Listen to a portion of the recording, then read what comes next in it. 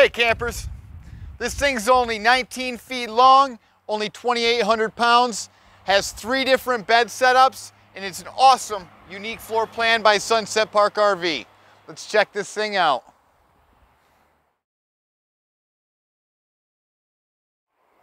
Starting right up front of this 18RD, we have the power tongue jack, the two inch ball, seven pin round wiring, we do have the electric brake package on there with the uh, breakaway brake. This also has two 20 pound propane tanks and the disconnect switch back here. Then we get into our pass-through storage, which I will get the keys for and show you inside of.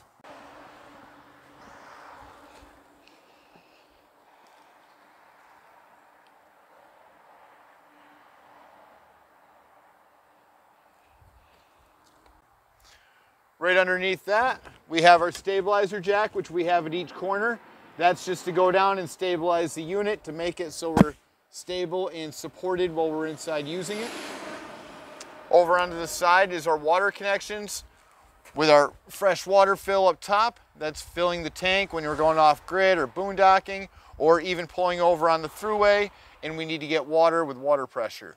We're filling up this tank, turning on the water pump and using that for pressure. This is a city water connection right here, putting a hose onto it, turning on the uh, pressure in the water from the faucet, whether it's at our house or at a campground. All right, right here is the fire escape. Then we're going up top to the brand new Lippert on the go ladder connection. Just buy, gotta buy the Lippert on the go ladder and then you can connect it right up there. This does have the uh, walkable roof up there. Next, we've got our hood vent. Then our water heater down here.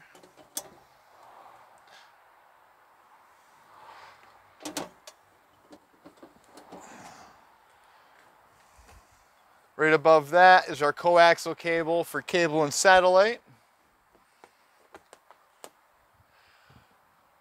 Window down below the window, that's our outside shower.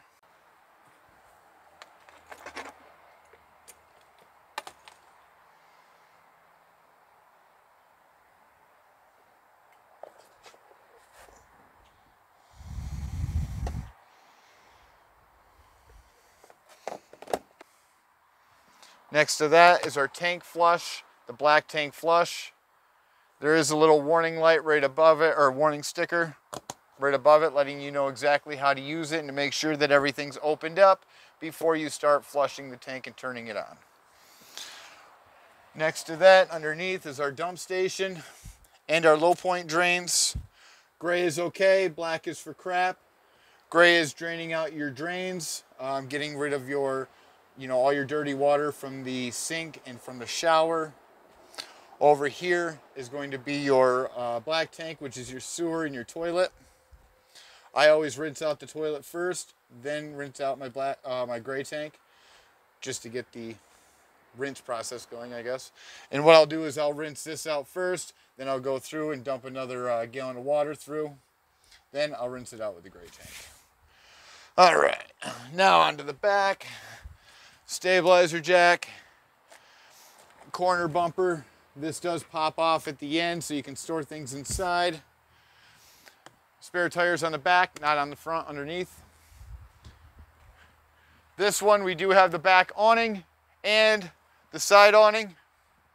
I love that feature with the double awnings on these. I love, also love that rear entrance door and the solid step. Also on these, right above the door, we have the backup camera bracket Screen door on here as well. Over on this side, this is your outside uh, outside access to your fridge. That's just in case you need to get any work done on it, but it's also to let it vent and breathe because this is a propane fridge or a two-way fridge. Down below is your furnace exhaust. And right below that is your outside propane connection just in case you want to hook up a grill or an outside heater. Then over here, outside speakers, outside power, 110 outlets. Nice big window.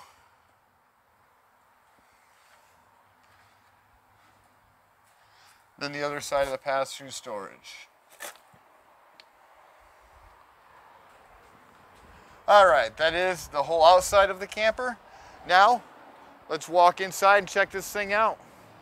Again, with a beautiful solid step.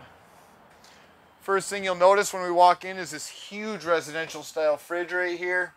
I love that double door. Freezer. Fridge. This is a two-way electric or propane. Then we go into the dinette. That dinette does fold down into a bed. At the end of the video, I will show you how the beds operate in here. Right here, some uh, cabinets above.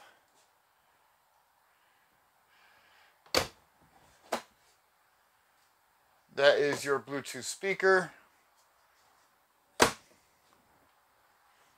thermostat on the wall over here. Now we'll go into the front wall.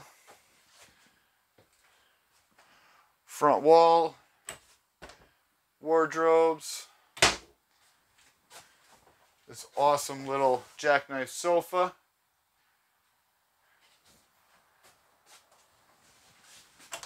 Other wardrobe here. And then the cabinets up top. So I will show you what the cabinets do here again at the end. That flips down into a bunk.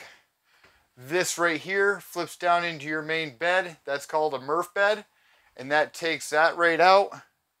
But it does take two hands to do it. So I will show you at the end. Microwave, range and hood, three burner stove, with a glass top that you can use for countertop space, but it's not tempered glass, so no hot stuff on that glass. Um, just use pads or gloves or whatnot. All right, so three burner stove here. Down below you do have your oven. And below that, your water heater.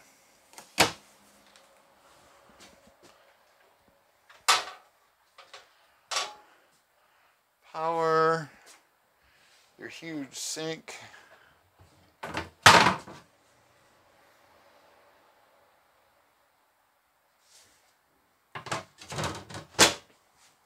Down here into your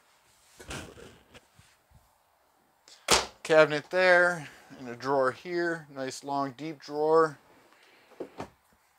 Now over onto this wall with your carbon monoxide detector, then over into your fire extinguisher. Follow that up into your master control panel right here. This is your solar controller over here. All your um, lights and your water heater, water pump. And these are a couple of your main lights here. This is also both your awning switches.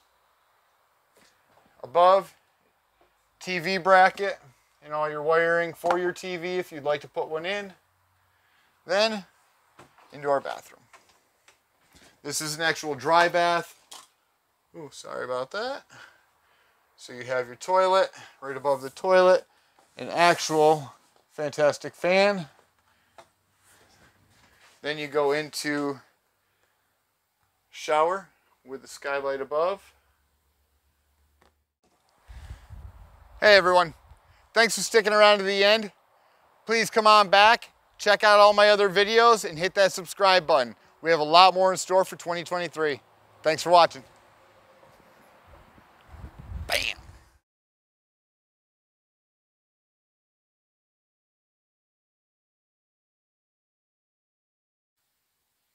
All right, first I'm going to show you how to work this Murph bed.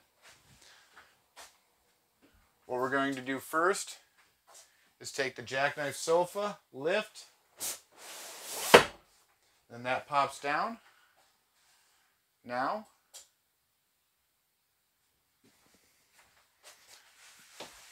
there's latches right here. Undo the latch.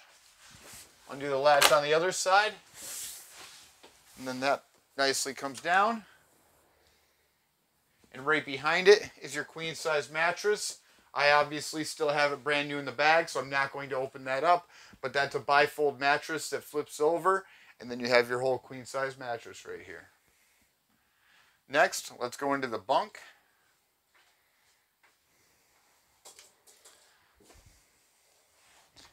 Just to show you how this works. There we go.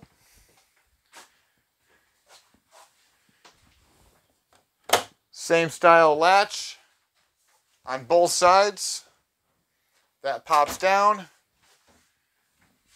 Make sure these cupboard doors are latched so they don't open up on you. Then there is a piece of wood in here. Bring that piece of wood out and put it over top of the cabinet doors. Then bring that other mattress pad out. And right there is your bunk that holds up to 150 pounds. So now you have the queen size bed here and the bunk up top that holds 150. Now, without turning off the camera, just to show you guys how quick and easy this really is, taking this dinette and turning this into the bed. So you can potentially sleep comfortably at least four to five people in here. Three, three comfortable adults, one small adult in the bunk up top. So now you're lifting this right up, pulling the legs off the bottom of the table, nicely storing them away somewhere. Then what I'm doing is I'm dropping this tabletop right, right onto the pieces of wood that they put there for the support as it sits there on the bed. So now you have that right there ready to be cushioned up. Then you take your back cushions and put them right over your tabletop.